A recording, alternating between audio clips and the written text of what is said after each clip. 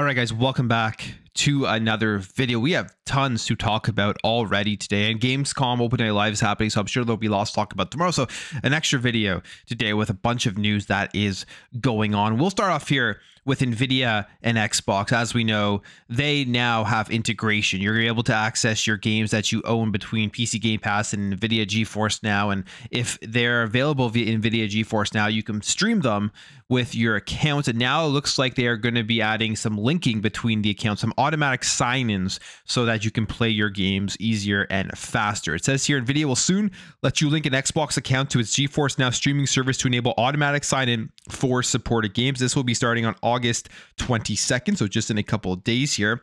The new account linking feature will mean you only need to sign in and link an Xbox profile once so that it's stored for all future GeForce Now sessions saying this new feature joins Xbox Game Library Sync on GeForce Now, which allows members to sync their supported Xbox Game Pass and Microsoft Store games to their cloud streaming library. So this is pretty awesome. I mean, this is all part of the rollout of Xbox games going into different streaming services. Obviously, with the whole Xbox Activision Blizzard acquisition, games like Call of Duty, they had to make those deals to get their games onto other streaming platforms. And linking it with GeForce Now, I think, is a pretty smart idea as well. Just for people who have signed up to PC Game Pass, they want to keep that subscription service, but they also want to be able to use their NVIDIA GeForce Now. Now it can all be linked together. So I thought that was pretty cool. It is starting. And then if you do have both of them, you're going to be able to check out that integration, that instant sign in on August 22nd. Now, we did get an announcement for a new uh, batch of Xbox Game Pass games. I, I, like how they include the Call of Duty Black Ops 6 beta within this announcement, which is pretty funny. So we have uh, four games here and one of those games I've actually already been playing. I, I, was able to get a review code for it, and it's actually a lot of fun from what I have been playing. That is Atlas Fallen Reign of the Sand. But here are the four games. So first of all, August 30th, the open beta for Call of Duty Black Ops 6 is here. You're going to be able to jump in, which is awesome to see because this is something that we haven't seen in a few years where everybody's playing together at the same time, which is a nice thing. I, I was really annoying when they were breaking up the betas between PlayStation and then the next week it was Xbox and PC. Now the whole Call of Duty community comes together, tries the open beta, all the feedback goes in at the same time. Everybody can talk about what they think about the game. That is coming August 30th. So just in 10 days from now. We've already seen lots of leaks for it. Uh, the Omni movement looks like it is going to be a nice addition and upgrade to the game, so I'm excited to try that out. I will definitely be jumping in on August 30th to play Call of Duty Black Ops 6.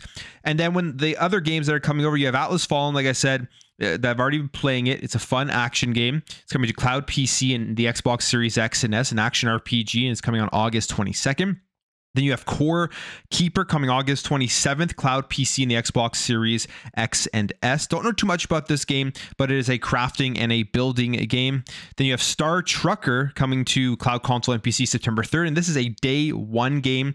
And basically, you are a trucker. You're hopping into the driver's seat, they say here, of your rocket powered big rig as you haul, cargo, scavenge, or salvage, and interact with an eclectic cast of star hopping truckers in the American infused journey on the ultimate open road. So day one game i don't know anything about it i'm sure there are some people that love those styles of games that will be checking that out so there it is four games announced here not a big release but i mean we are getting Gamescom. There could be some more surprises there. I feel like there will be in a few hours, and it, there's going to be tons of stuff coming from now until the end of the year. But even with Atlas Fallen and just being able to play the Call of Duty Black Ops beta, stuff to look forward to and play. Now, when it comes to uh, NVIDIA, we'll go back and talk about them for a couple of things here, actually. First of all, they're quietly launching a new RTX 4070.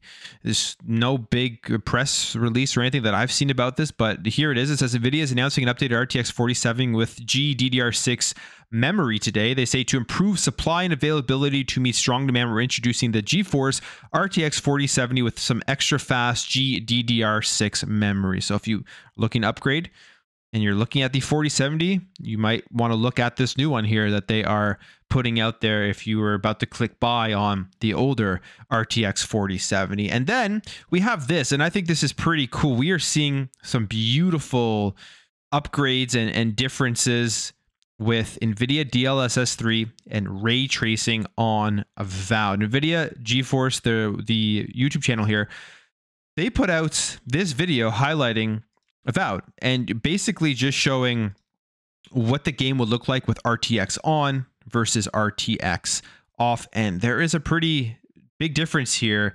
It looks phenomenal with all of these extra lighting effects and everything, clearly brighter and more vibrant compared to when it's off, where it is a, a little bit darker. So, some cool stuff here. Avowed is going to look good. It's coming out as we know now. They pushed it to 2025 to get out of the, the crazy release schedule of the end of this year. That's going to get even bigger once we get the Indiana Jones release dates today. So I think that was a good move. I don't think it has anything to do with the game not being ready.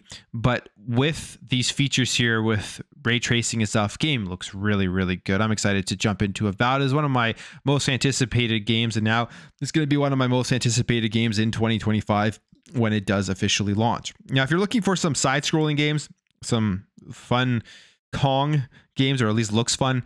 We did get this announcement here, which is pretty cool.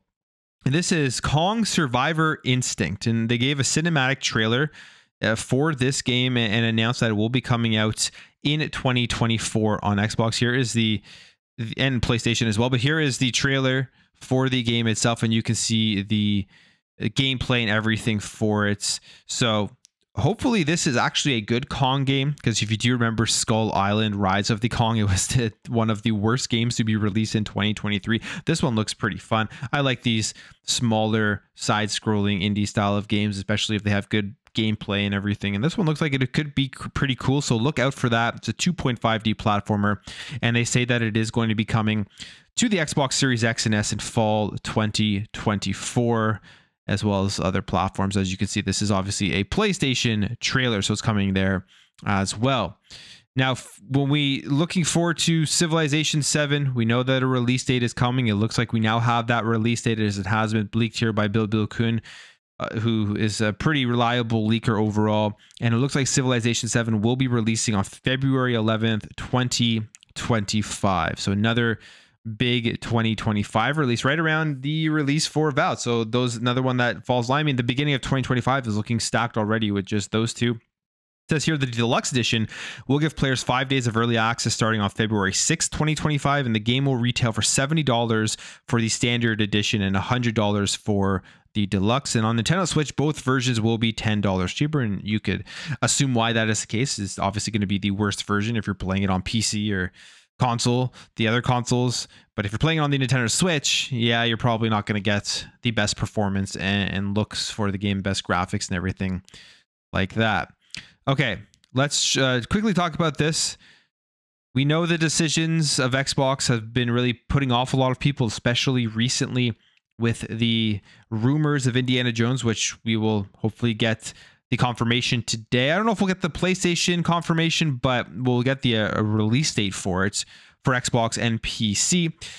And there's some executives here that are standing up for Phil Spencer, which you've seen a lot of people actually go against him on the other side, even in the business world. But we have one here that is standing up for him, and and I, I agree honestly, and this is with Larry Hryb. I mean, Larry Hryb was a, it was the face of Xbox, Major Nelson, as we all know him for years, for so long. He is not there anymore, but he is actually responding here to RGT85 on X, and it's a very good response, and it's just a basic response. But you have him asking, "Hey, Phil or Xbox P3, what are we doing over there, Chief?" And he's running a business. And this is the one thing I think a lot of people just forget when they look at video games, the industry, the companies, everything like that. They always look at it as how does it affect me?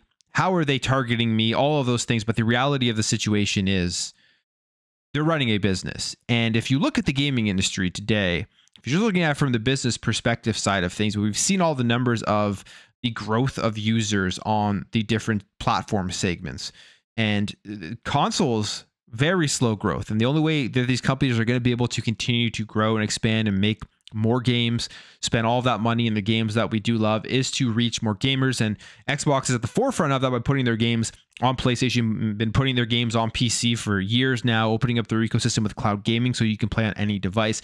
And it, I think it is paying off very well for them. And I think it will continue to pay off in the future. So if you are on the Xbox platform, you're going to get more content. You're going to get more games. You're really not going to have to go anywhere else to play your games because there's going to be so much stuff there. And that is the long term vision, I would assume, here from Phil Spencer and the Xbox executives looking at how the landscape of the gaming industry is changing, knowing that PlayStation is going to be following in their footsteps, which they already have been. If you do track everything that has been going on, PlayStation has followed Xbox slowly, but they have been with their PlayStation Plus upgrades, with putting games on PC, day and dates. I mean, you have Concord coming out, PC day and date, all of those things.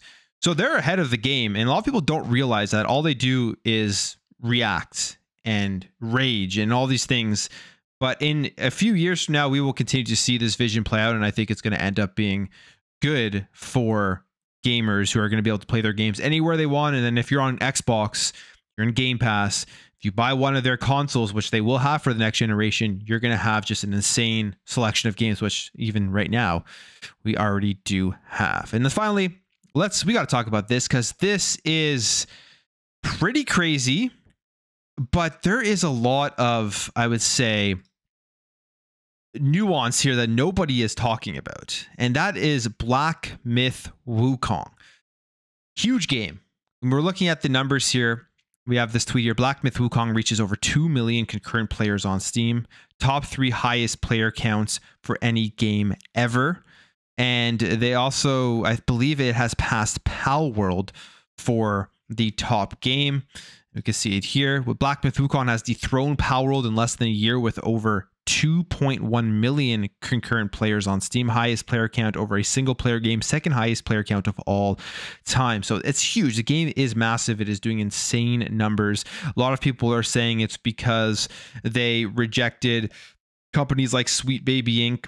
and their activism that they put within games, which I'm all for. I don't want activism within games. I just want a game that tells a story that the creators want to tell and there isn't any forced things in there that take away from the experience. We've seen how that has affected the games in the industry.